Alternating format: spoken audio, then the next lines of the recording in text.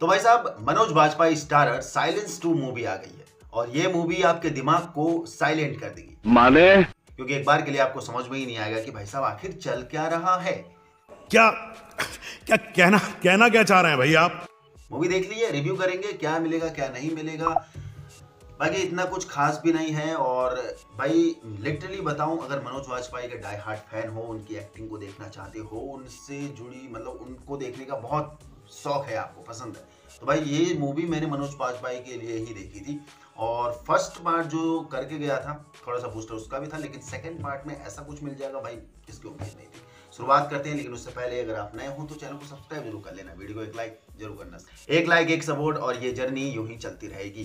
वैसे मूवी की अगर मैं बताऊँ तो स्टोरी एक बार के लिए ठीक है एंड जिस हिसाब से सस्पेंसनल क्राइम ड्रामा थ्रिलर पर ये बेस्ड मूवी है और जिस हिसाब से क्राइम देन उसके पास वो प्लॉटिंग देन अनप्लॉटिंग करने की कोशिश करी है मूवी की, वो भी सब बढ़िया था।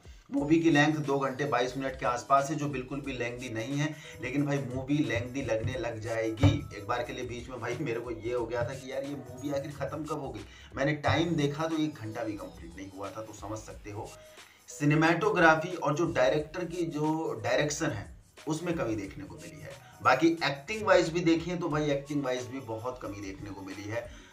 खासकर बहुत जगह लगा कि यार एफर्ट लगाए जा रहे हैं ज़बरदस्ती का जो नेगेटिव्स कैरेक्टर हैं विलेंस के कैरेक्टर हैं, कुछ एक कैरेक्टर तो ज़बरदस्ती के घुसे गए। ना भी होते तो चल भी जाता। क्योंकि विलेन का एंगल बिल्कुल अलग था। जो क्राइम करा गया वो बिल्कुल अलग था। उस क्राइम को सॉल्व करते करते जो विलेन तक पहुँच सकते थे सीधे भी पहुँचा जा सकता था। मतलब बहुत ज़्यादा घुमाने की कोशिश करी तो एक बार के लिए बहुत हैवी सा हो गया। फ़िलहाल जब भी मनोज वाजपेयी स्क्रीन पर आए, भाई मूवी को उठा के ले गए हैं और बस वही थे जिनकी वजह से मैं पूरी मूवी देखने के लिए टिक गया। एक बार के लिए ये भी ख्याल आया कि यार आखिर मैं कर क्या रहा हूँ? मतलब यहाँ टाइम वेस्ट करने का आखिर मतलब क्या है? मिलने जब वही है लास्ट में भाई चोर पकड़ ही जाना है। ये चीज़ तो फ़िलहाल मूवी दमदार है, बाकी अगर सपोर्टिंग कास्ट की बात करूँ तो इतना दमखम देखने को नहीं मिला सपोर्टिंग कास्ट की तरफ़ से। बाकी स्टोरी की बात करें तो शुरुआत होती है एक आजमा नाम की लड़की से जो एस्कॉट का काम करती है सेक्स एस्कॉट का काम करती है जिसमें और उनकी हो जाती है मौके वारदात पर मृत्यु और फिर उस कहानी को सॉल्व करने के लिए उनकी पूरी टीम मतलब क्राइम ब्रांच की जो भी इनकी टीम है, मनोज बाजपेयी की, वो पूरी टीम उसके पीछे लग जाती है। और कई जगह बीच में इतनी ढीली स्टोरी करी गई है। हाँ इसके पीछे एक मैसेज दमदार है। कि जो ह्यूमन ट्रैफिकिंग है, खासकर उन टीनेजर्स गर्ल्स का जिनको धोखे धड़ी से लाया जाता है, ये बोलकर कि तुम्हें हीरोइन बना देंगे, खासकर ऐसी सुंदर लड़कियों को। देन उसके बाद उनसे ये गंदे काम करवाए जाते हैं। तो उस चीज़ को, उस चीज़ को प्रिवेंट करने के लिए, उस चीज़ को कैसे रोकथाम करा जाए, इसके लिए ये चीज़ बढ़िया थी।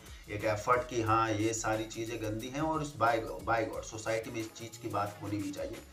तो ये एक अच्छा मैसेज था वहाँ से इस मूवी का। बाकी मूवी ठीक ठाक है वन टाइम वॉचेबल है, बहुत कुछ नहीं है देखने के लिए आपके पास और मूवी लवर्स हो, मनोज बाजपेयी के फैंस हो तो ये मूवी आप देख सकते हो।